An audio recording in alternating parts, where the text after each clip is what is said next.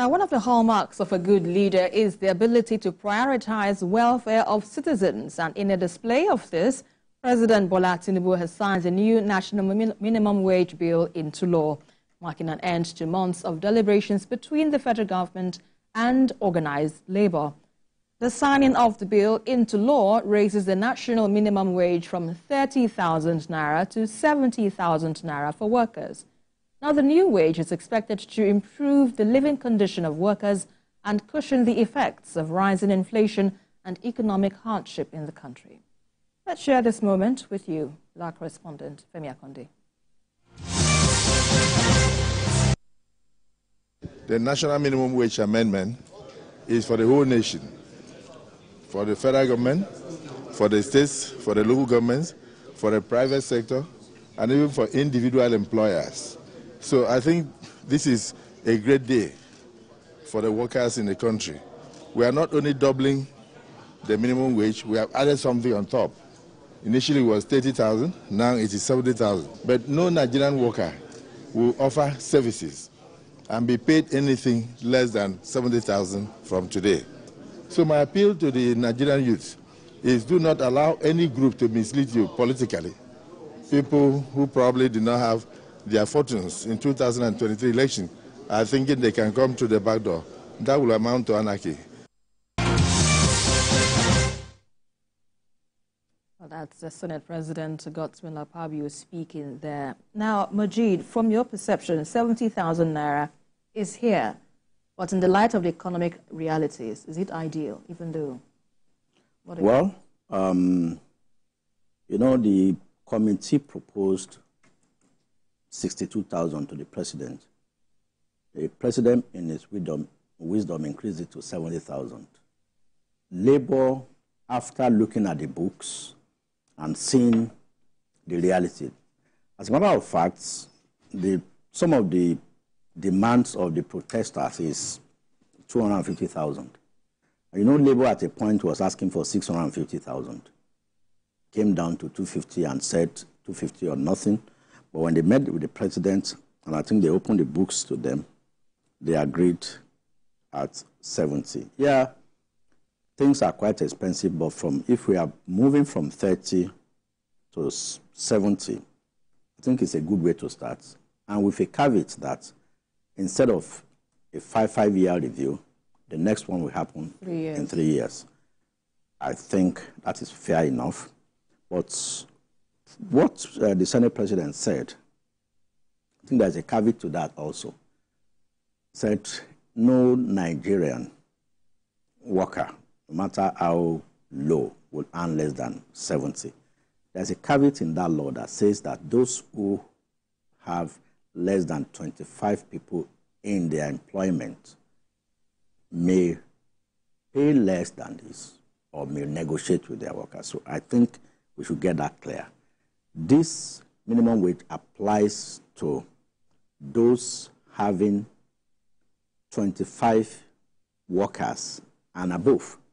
So for those who hire domestic helps, maybe a gate man, a, a security man, and uh, another house help or whatever, I doubt if this will apply uh, to such categories. Mm. But um, if we have 250,000 naira as minimum wage, if we do not manage it well, or if we do not cut our coat according to our coat, our, our cloth, it might not be enough. Mm -hmm. Exactly. Because if you if you know that a, a balanced, or rather a a subsistent uh, ration for you uh, is two loaves, I mean, four loaves of bread, I mean, four slices of bread and one egg and um, tea. But because you say you have more money, you have more money, you want to eat uh, pounded yam with efo riro and the bushmeat. it's still food, but it will cost more than mm-hmm. four slices of bread. So we need to learn how to manage. Things are expensive. In, I, I stumbled on a letter written in 1981 by Tai Solarin as proprietor of Mayflower, Mayflower. Uh, College. College. to parents of uh, the pupils in his school, saying that the cost of a bag of gari has increased to 700 naira. A bag of gari has increased to 700 naira, that he had to add 20, 20 naira to the cost of uh, those students who will be staying in boarding house. That was 1981. So it's not today that, they said they had to travel far and beyond um, Ikenne to go as far as Ibadan or Yo to look for tomato to buy. That was in 1981. We are saying the same thing today. today. In 2024, almost 44 years after that, things are expensive. Of course, things will continue to be expensive. In 1983, my dad bought um, a Volkswagen, a brand new Volkswagen uh, Beetle, 1,500 naira. Brand new. A Peugeot then was, I think, 4,500. If you are buying SR of 505, it's 14,000, 15,000 naira. 1983 84. So, things will continue to be, and by the time people are talking about uh, increase in food prices uh, in 10, 20 years' time, it will still be the same story. Ogunde and the other musicians sang about, about uh, Iluleo more than 50 years ago. Still. And Ilu is still late. Ilu is still late. now it's still hard. So, um, things will not remain stagnant. Uh, the days of $10 per barrel of crude oil is over. It's now, the benchmark is between 60, 70, 80, at times it gets to 100. So things are changing worldwide. Technology is making things, it's reducing the jobs that could be done by human beings. So with technology being deployed, more human beings are being left unemployed, and I think we should learn how to engage in services that are ICT based that could earn us more money.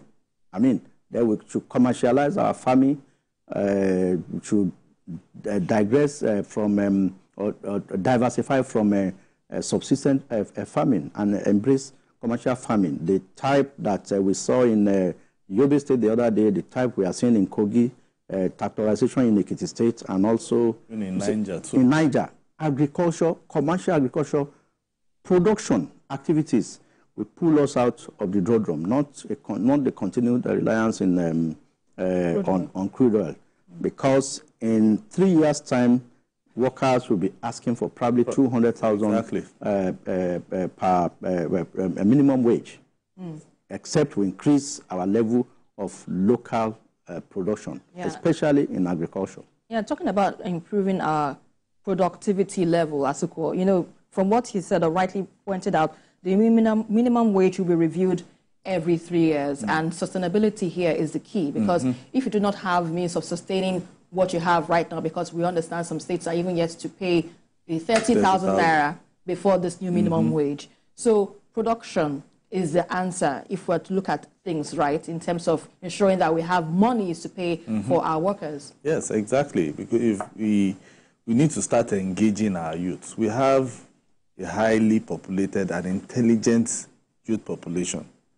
And I think that is where the government, you know, is supposed to start looking at tapping from that particular resources. I call it resources because when once you have a, a, a, youth population that is large, as huge as that the one that we have in Nigeria, they can go into so many things. They can go into agriculture, like he's saying.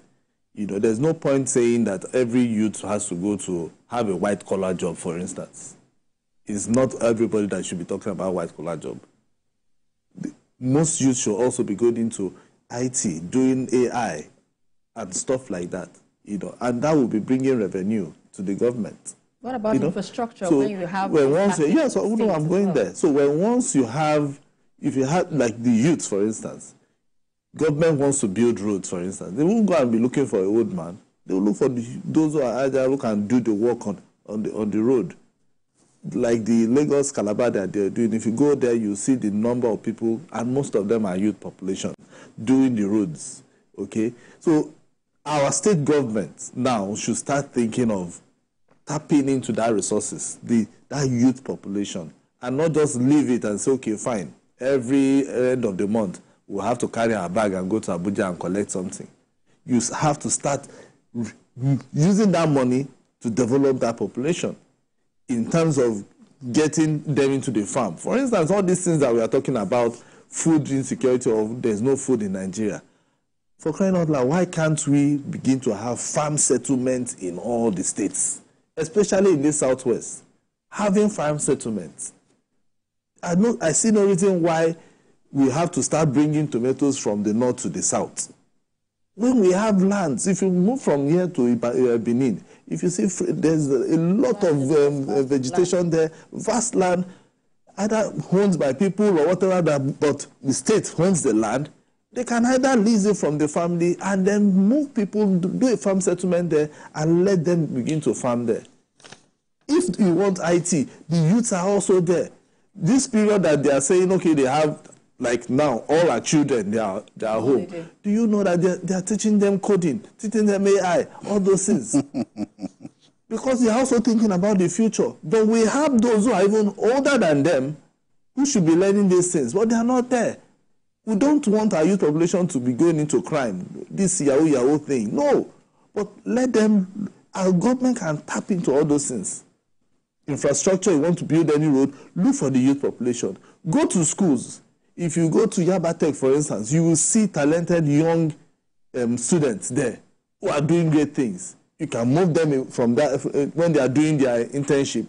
Move them, say three months internship, take them to the road sites, let them begin to look at the new technology. They can even bring more their own ideas, and you tap into it. You go to FUTA, the same thing. You, there are no, I'm not sure there's any university or polytechnic in Nigeria that we don't have youth population who are ready to, you know, bring their own contribution to national growth and development. Right. So it's just for us to begin to look at it. Our government have to start looking at it, not just about waiting for the crude oil. Allocation. Every time you're always waiting for that allocation, let that money come and then from there we start spending. No, we should start looking inwards all state governments should start looking inward. Mm. Is it the farm settlement that I'm talking about? I know there's one that um, Oyo State is doing, something about agriculture, you know. And if you look at what are, the acres of land they've taken for, for ranching and for, vegeta- uh, for vegetables and all, we can do the same thing in Ogo State. We can do even in Lagos. I know Lagos is urban. Lagos might want to say, okay, we don't want to deal with rice or we don't want to do, I know they have a rice mill. Yeah. But they can, I know in, Badagry, I think in Badagry, there even, there's a rice uh, farm there in Badagry. Yeah, there is you know? land in uh, Badagry. You know, Badagry, even in um, Epe, yeah. you know. So if, they, if we have that and then they push all those things into it, we shouldn't be talking about food, uh, you know, uh, food inflation. Right. At all. Mm. Not even in Nigeria. With this kind of population that we have, the youth population we have, we shouldn't be talking about it all the government should just do is move them there, make sure that they are well secured. We know that, okay, yes, people want to do some crazy things. But when once the, any youth know that his life is secured and he has everything in that farm settlement, they want to go there. Right. Well, let's quickly move on to our next issue of